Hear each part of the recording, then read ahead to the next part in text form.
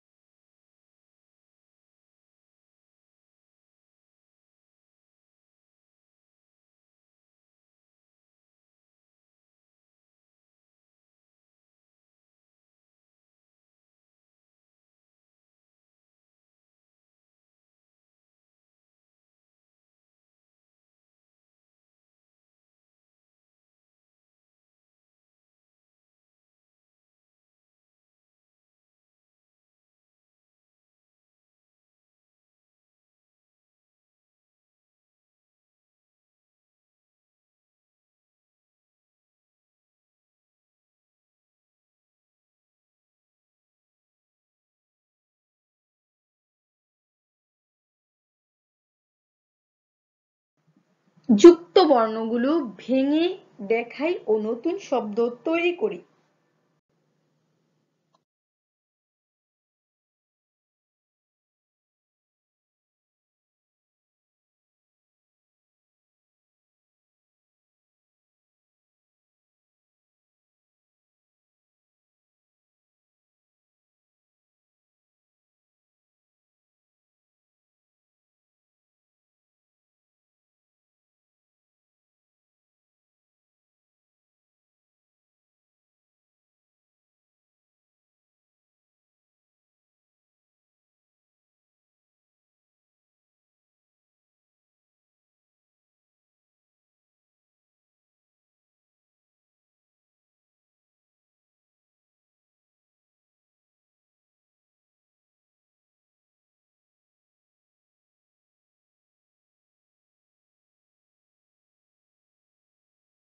চলো, আমরা ক্যাঙ্গারু সম্পর্কে কিছু জানার চেষ্টা করি।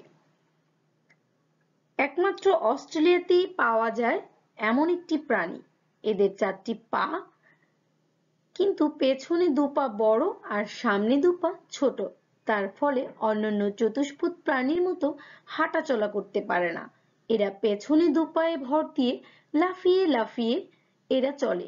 এদের বুকের নিচে একটা থলেতে এরা বাচ্চা রাখে।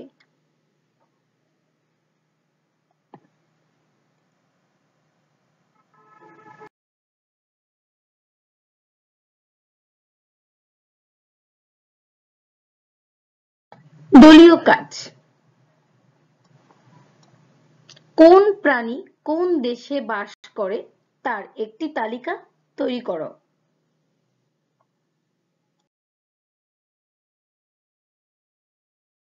একক কাজ। অর্থাৎ কাজটি নিজে নিজে নিজের খাতে করতে হবে। সুন্দরবনে বাস করে এমন পাঁচটি প্রাণীর নাম লেখো।